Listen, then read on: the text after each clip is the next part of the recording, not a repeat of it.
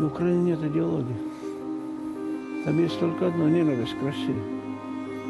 Вся идеология в том, Россия должна перестать существовать. Это снова польская идеология, национальная. Польская национальная идея в чем? Ну что ж Россия?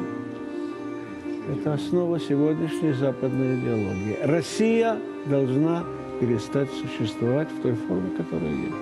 Больше ничего нет.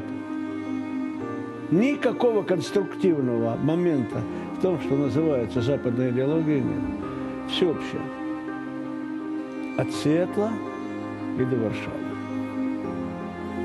Вся западная идеология построена сегодня, объединена старой европейской идеей.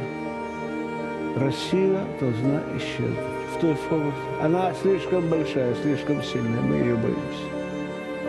И мы должны ее уничтожить, иначе, иначе мы не сможем так управлять миром, как управляли.